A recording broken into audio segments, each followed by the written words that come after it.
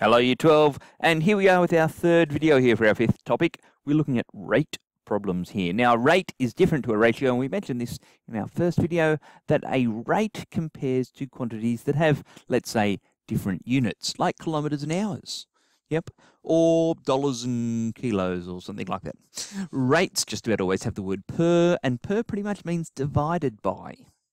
Okay, that's how we're going to solve these.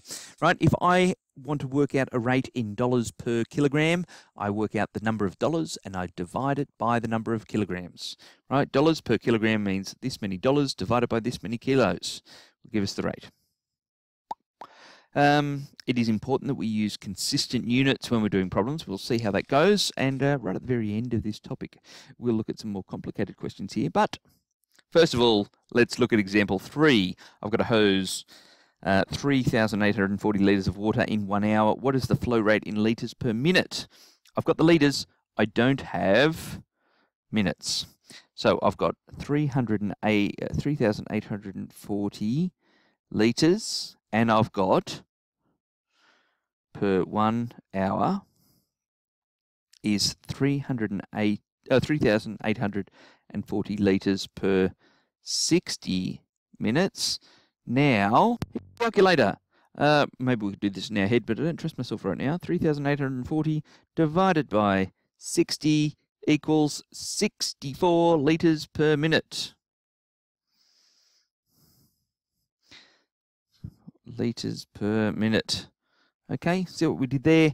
We um, we needed litres per minute. So I need to find the number of litres, I need to find the number of minutes, and divide the number of litres by the number of minutes. In this case, it was 3,840 litres and 60 minutes. And when I divide that, the quotient, 64 litres per minute. Now, here we go. The cost of 35 litres petrol is 44.45. Express this cost as a rate in cents per litre, because you know what? That's how petrol is normally advertised, in cents per litre. So I need to know the number of cents and divide it by the number of litres. So I'm going to say 44, 45 equals 4,445 cents.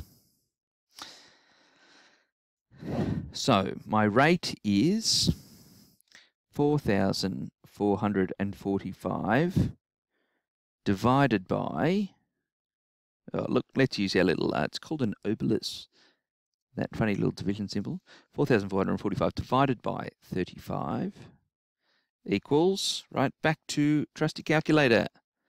Here we go. 4,445 divided by 35 equals 127. Equals 127 cents per litre. Like that. Radio, those are the rate problems. Again, if you've got any questions, write them down, save them up, ask me when you get to class. Okay, thanks, people.